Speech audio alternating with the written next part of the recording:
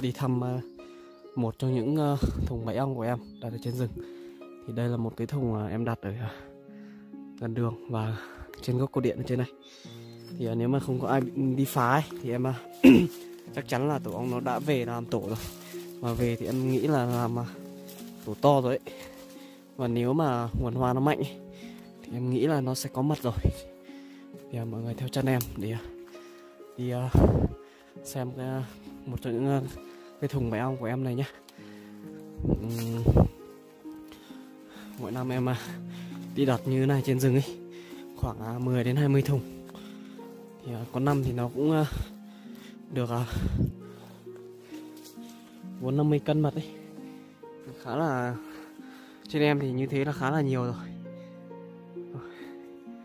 Chỗ này có dấu hiệu người ta phát quang ra nhưng mà em thấy nó vẫn còn thùng ở đây. Khá là may mắn khi ờ, có người phát quang ra như thế này. À có ông về rồi. Em thấy có ông về mọi người ạ.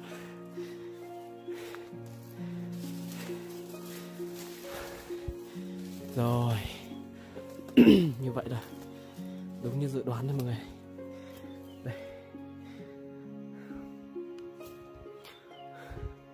Ui hơi bị dữ này.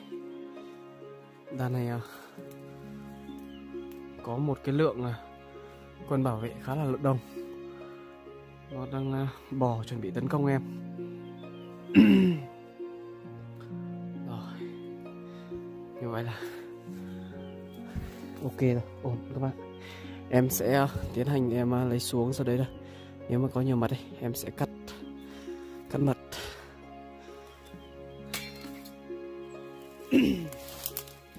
rồi, em thấy cái thùng à, khá là nặng luôn. Em nghĩ là tổ nó cũng rất là to. Khá là nặng luôn ạ. Bây giờ em sẽ mở ra cho mọi người cùng xem nhé.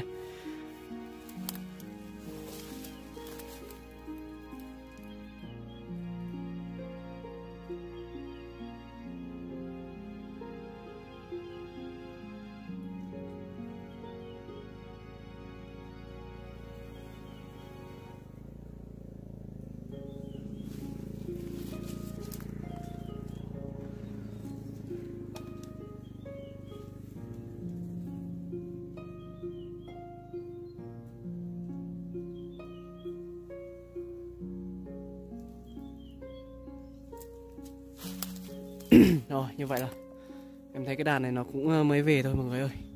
Nó chưa về lâu lắm đâu. Cái bánh tổ nó rất là mới. Đây. Cái bánh tổ của nó quá là mới luôn.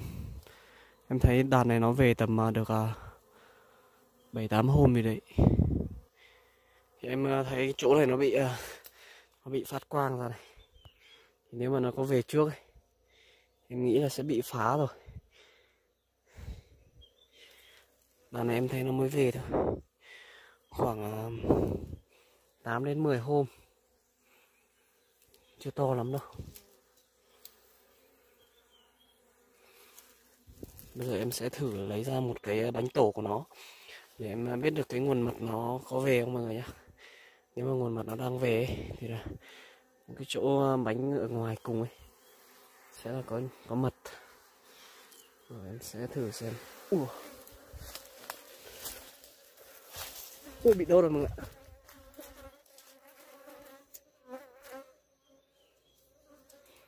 Em bị đốt rồi.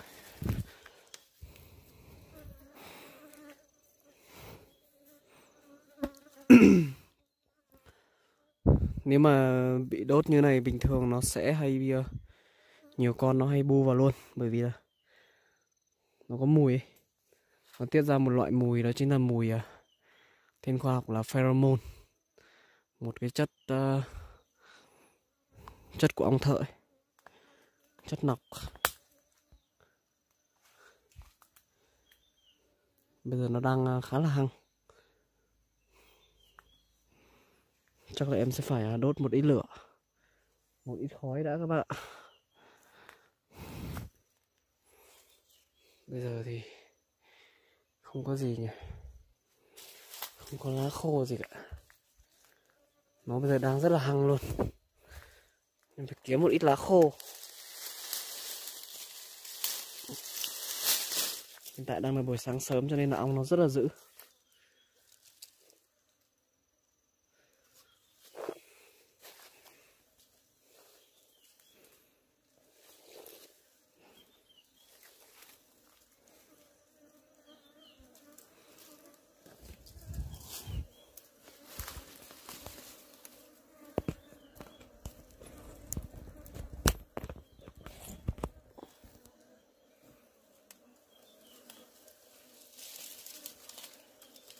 Thì em sẽ đốt khói này các bạn này.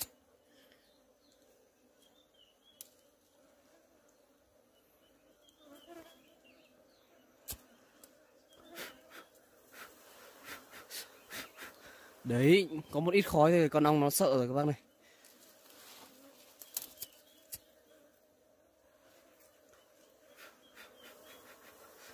Nếu mà có một ít hơi khói Con ong bắt đầu sợ. À, như vậy là tầng rất là mới luôn em thấy quá mới các bạn.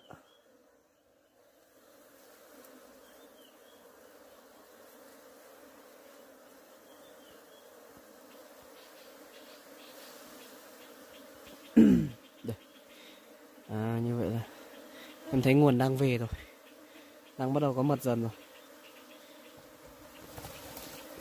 Ông bắt đầu sợ các bạn khi mà em à, phá một cái bánh tổ của nó, ông bắt đầu sợ.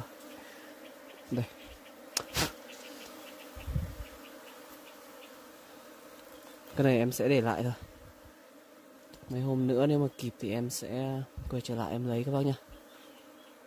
Cái này thì nguồn nó đang về thôi.